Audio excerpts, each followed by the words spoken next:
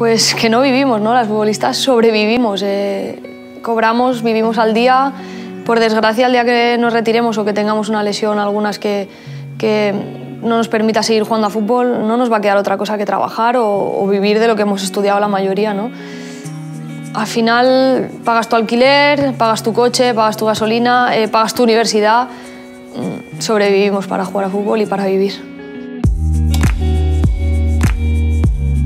Sí, ha habido muchos momentos que, te sientes señalada, observada, pero por suerte he sido una persona o una niña que, tenía mucho carácter, ¿no? que le daba igual lo que le dijeran, que, se ha peleado con muchos compañeros en el, en el colegio porque pues eso, pues te decían cosas y yo no lo iba a permitir.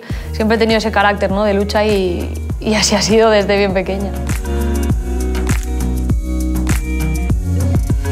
Bueno, yo durante todo el año ¿no? que, que me estaba preparando para hacer esa comunión, eh, yo le decía a mis padres que quería hacerla vestida de futbolista. ¿no? Todo el mundo me decía que estaba loca, pero yo tenía claro que quería ir con las botas, que quería ir con la camiseta, el pantalón corto. Y bueno, al final no fue así porque, porque bueno, acabamos, eh, me acabaron convenciendo, entre comillas. Pero mm, bueno, como se ve en, en las fotografías, el día eh, no faltó la pelota y, y llevaba puestas las botas de fútbol.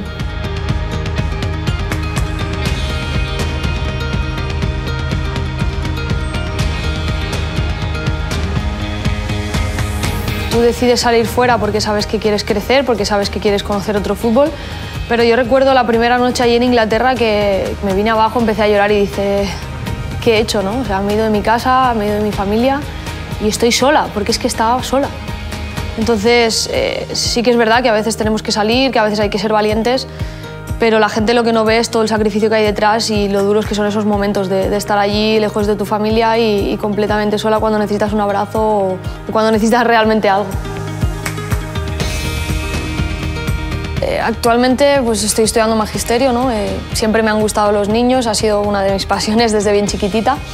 Y creo que, que, también está en nuestras manos un poco como docentes, o como en mi caso como futura docente, pues cambiar o seguir cambiando las sociedades de la base. ¿no? Para mí, eh, uno de los cambios de la mentalidad viene, tiene que venir dado por esos niños y qué mejor forma de ayudarlos que estar relacionadas con ellos.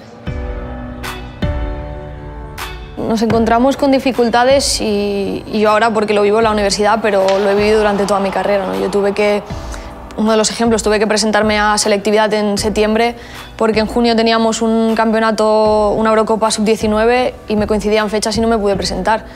Entonces, eh, estamos muy olvidadas, estamos muy dejadas de la mano, no, no estamos consideradas deportista de élite.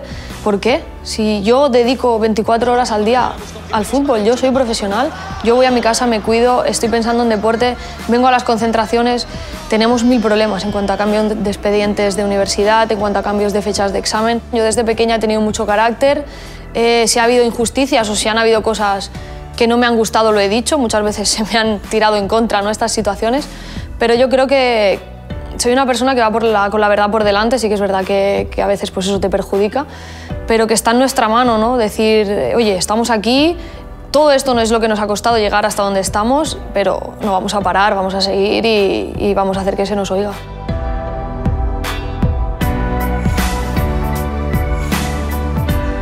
Tenemos que ser las primeras que, tiremos para adelante este cambio, ¿no? que tenemos que ser las primeras que demos ejemplo, las primeras que demos ese pasito adelante para que esto cambie, porque si al final nos escondemos y, nos quedamos a la sombra, si no es gracias a nosotras, a las que estamos derribando muros, esto no, no va a seguir creciendo.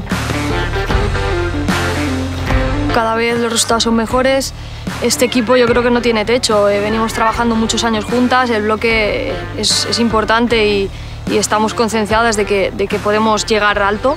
Entonces esta cita yo creo que vamos a dar un paso adelante ¿no? y, el fútbol femenino español yo creo que ha despegado y no tiene freno.